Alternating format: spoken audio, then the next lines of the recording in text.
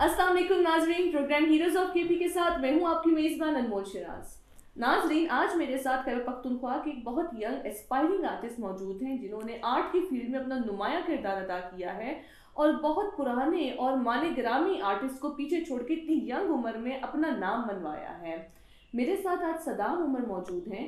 इनसे हम जानते हैं कि क्या ऐसी कहानी है जिन्होंने इनको इंस्पायर किया, आज की तरफ़ इतना खूबसूरत आर्ट वर्क मेरे पीछे डिस्प्ले हुआ हुआ है। और कितना इनका काम है जो हम लोग को बहुत इंस्पायर करता है अट्रैक्ट करता है इनसे आज हम जानते हैं कि क्या ऐसी वजूहत थी जो इनको आर्ट की फ़ील्ड की तरफ़ लेकर आई। अस्सलाम वालेकुम सदाम। वालेकुम अस्सलाम। कैसे हैं आप? अल्हम्दुलिल्लाह। सदाम आपका ताल्लुक कहाँ से है? मैं बेसिकली अपर दीर से हूँ। आपने अपनी एजुकेशन किस फ़ील्ड में हासिल की है? मैंने साइंस में एजुकेशन हासिल की है मैट्रिक मैट्रिक आपने साइंस में की है।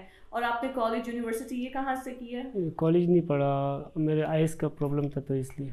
आपने ये आर्ट की तरफ़ आपका रुझान कैसे आया? मैट्रिक आपने साइंस में कर लिया इतना खूबसूरत आर्ट आपने करना शुरू किया।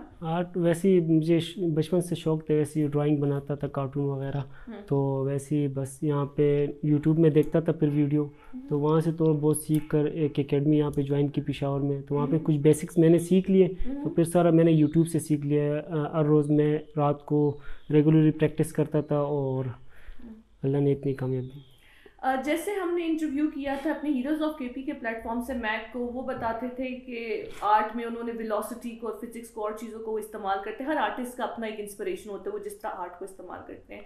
आप किस चीज़ में आर्ट को इस्तेमाल करते हैं? मैं ऐसी चारकोल वो करता हूँ और पेंसिल हम्म, और सर पेंटिंग और वॉल पेंटिंग भी करता हूँ। हम्म। तो इसमें ज़्यादा मुझे ज़रा अच्छा काम। मतलब आपको जो चारकोल है ये आपकी जो स्केचिंग है सारी ये चारकोल के थ्रू है। जी चारकोल भी है पेंसिल में इसमें मिक्स भी है। तो अच्छा। जी चारकोल और पेंसिल मैंने मिलाकर काम किया भी है इसमें। आपका आर्ट किस चीज़ को रिप्रेजेंट करता है? क्योंकि हर आर्टिस्ट के पीछे एक कहानी होती है। मेरा ऐसी इस तरह ये दो स्केचेस हैं। ये मैंने ऐसी जहाँ पे ये म, म, जी जो वो गरीब बच्चे होते हैं जहाँ पानी नहीं जाता। ये ऐसी मैंने उस उस उसमें बनाए थे कि पानी उसको मिलता है तो को किस तरह खुशी होता है। और ये मैंने इसके फिर अपोजिट साइड मिलाए थे जिसको पानी मिलता हो जिस तरह वो ज़रा ज़रा ज़्यादा गरीब वो वैसी होते हैं। हम्म। तो उस उसमें मैंने बनाया था। मतलब कि आपकी जो एक वर्चुअल हैप्पीनेस को वो शो करता है एक। मसनूई हैप्पीनेस वो दिखा रहे होते जी हैं। जी। ज़बरदस्त। हर एक इंसान जिस भी तरफ़ जाता है तो उसको हर्डल्स तो आते हैं रुकावटें भी आती हैं हाँ। ऑब्स्टिकल्स भी होते हैं। आपकी कहानी में आपकी ज़िंदगी में ऐसा क्या था जिसने आपको रोका? मेरी ऐसी तो आइस का बहुत ज़्यादा बड़ा प्रॉब्लम आ गया था इसने मुझे बहुत ज़्यादा रोक लिया था और फैमिली से तो बहुत ज़्यादा सपोर्ट थी। हम्म, और मेरा वैसे ऑपरेशन हुआ है ना हम्म। कैटेकटोनस का हम्म, आइस का। तो उस वजह से मैं लेंस पहनता हूँ और डिटेलिंग काम उसमें मैं करता हूँ। तो इस वजह से मुझे ज़्यादा तकलीफ़ होती है। हम्म। और कोई इस तरह ज़्यादा वो नहीं है फैमिली की तरफ़ से ज़्यादा बहुत ज़्यादा सपोर्ट है मुझे। हम्म, वैसे ये हमने नाजिन बड़ी मुनफरद बात सुनी है कि फैमिली की तरफ़ से सपोर्ट है। अमूमन ये होता है कि रिश्तेदार अब बड़ा बैकलैश आता है कि माँ बाप के एक अलग ख्वाब होते हैं। आपके पेरेंट्स का क्या ख्वाब था आपको लेकर? और आप आर्ट की तरफ़ आ गए उन्होंने डांटा तो ज़रूर होगा। वैसे आइस पे डांटते थे कि ना करो कि आपका थोड़ा बहुत डांटते थे कि आपका आइस कमज़ोर हो जाएगी। और कोई निकाब के वो कह रहे थे कि आप जो करने आपने आपने बस दिल से करो और कामयाबी उसमें हासिल खैबर पख्तूनख्वा की सोसाइटी में आपने कहाँ कहाँ इस सोसाइटी को रिप्रेजेंट किया? क्योंकि हमारा खैबर पख्तूनख्वा के ऊपर बड़े धब्बे लगते हैं कि ये लोग इंतहा पसंद हैं। हमारे ऊपर बड़ी चीज़ें आई होती हैं। तो कहाँ कहाँ आपने खैबर पख्तूनख्वा का ऐसा खूबसूरत इमेज दिखाया? है मैंने पेशावर में जितनी यूनिवर्सिटी है मैंने सारे उसमें हिस्सा लिया हुआ है और उसमें सारों ने सारों में फ़र्स्ट पोजीशन हासिल की। जी।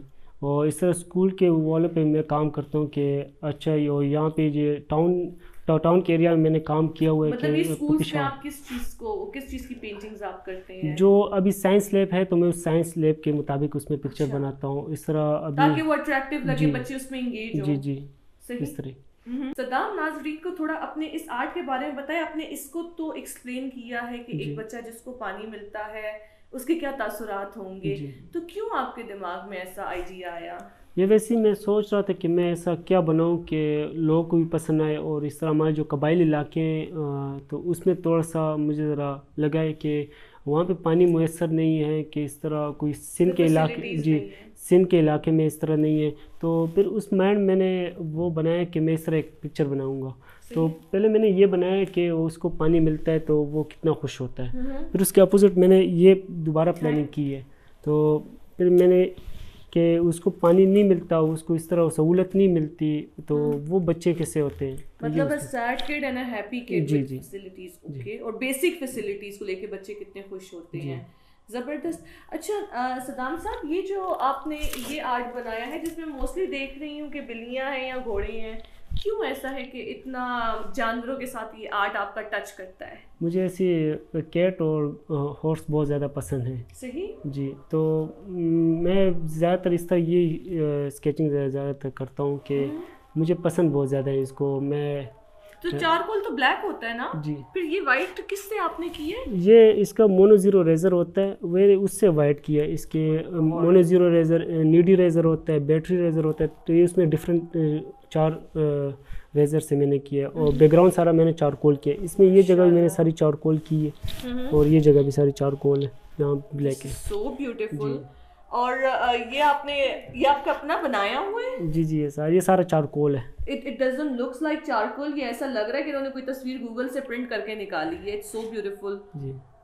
और ये भी आपका अपना है? जी, एंड यू सारे- इंस्पायर्ड फ्रॉम कैट्स जी बहुत ज़्यादा। ज़बरदस्त।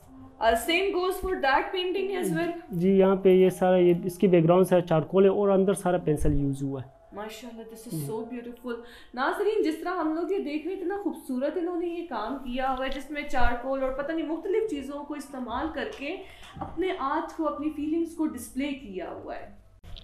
सदाम ये बताएँ कि आपकी अचीवमेंट्स क्या क्या हैं इतनी यंग एज में इतना खूबसूरत काम इसे मैंने इसमें इसमें गिफ्ट बहुत ज़्यादा दिए हैं। इस तरह एयरफोर्स के जो चीफ हैं उसको बहुत ज़्यादा जो एयरफोर्स के बहुत सीनियर लोग हैं उसको एज ए गिफ्ट दिए बहुत ज़्यादा। इस तरह मैंने यूट्यूबर की बहुत ज़्यादा बनाई है कि अ, उसको मैं इससे आपका काम प्रमोट हो जी प्रमोट हो उससे मैंने बहुत ज़्यादा सीखा भी है यूट्यूबर से। तो इसलिए मैंने ज़्यादा उसको बनाए हुए हैं और एयरफोर्स के ज़्यादा ज़्यादातर बनाए हुए हैं। हमने ये भी देखा कि आपने बड़े सियासतदानों को भी उनके स्केचेस बना के। गिफ्ट किए हुए हैं। तो क्या ऐसा हो सकता है कि सियासतदानों के अलावा आप हम जैसे लोगों का भी स्केचेस बनाएँ? क्यों नहीं? इंशाल्लाह। क्योंकि ये बड़ा खूबसूरत काम आपने बनाया हुआ है। आखिर में आप क्या पैगाम देना चाहेंगे यूथ को इस आज के हवाले से अगर वो आपकी फ़ील्ड की तरफ़ आना चाहते हैं? बस काम करें और काम को ना छोड़ें और जो भी आपको बोलें कि ये, इसमें ये नहीं कर सकते, वो नहीं कर सकते तो आपने उसकी बात नहीं सुननी। अपना काम पे फोकस करना है। तो रेगुलरली आपने प्रैक्टिस करना है प्रैक्टिस से ही आपका काम ज़्यादा इम्प्रूव होगा। आप, अगर मैं एक आखिरी सवाल ये पूछना चाहूँ कि आप अपने आप को आज से दो तीन साल बाद कहाँ देखते हैं? एज एन आर्टिस्ट कि आपको कितनी इंकरेजमेंट मिली है खैर पख्तूनख्वा की सोसाइटी से? यहाँ पे तो बहुत ज़्यादा सपोर्ट है पेशावर में। अगर यूनिवर्सिटी इस तरह जगहों पे आप देखें बहुत ज़्यादा आर्ट को सपोर्ट मिलती है। तो इन मेरा फ्यूचर में तो बहुत बड़े बड़े वॉलों पे काम करने का इरादा है कि मैं और वॉल पे भी आप ये चारकोल को लेके काम करते हैं? उस पर ऑयल कलर और ए, ए, डिस्टम्बर टाइप का होता है उसमें काम होता है। चौक उसमें नहीं होता। ओके बहुत शुक्रिया सदाम। थैंक यू नाजरीन, जिस तरह आपने हमारे यंग एस्पायरिंग आर्टिस्ट से सुना कि कितना उनका बेहतरीन काम था और आगे वो फ्यूचर में यही उम्मीद रखते हैं कि उनको ये अपॉर्चुनिटीज़ मिल सकें कि वो खैबर पख्तूनख्वा के rich culture rich society rich traditions को बड़े बड़े वॉल्स पे बड़े बड़ी जगहों पे डिस्प्ले करके एग्जिबिट करके बता सकें कि हमारे खैबर पख्तूनख्वा में यंग टैलेंट है और यही हमारे हीरोज़ हैं जो कि अपने आर्ट के थ्रू अपने काम के थ्रू हमारी सोसाइटी को रिप्रेजेंट कर रहे हैं। इसी के साथ अपनी मेज़बान अनमोल शिराज को दीजिए इजाज़त, एक और प्रोग्राम के साथ। अल्लाह हाफिज़।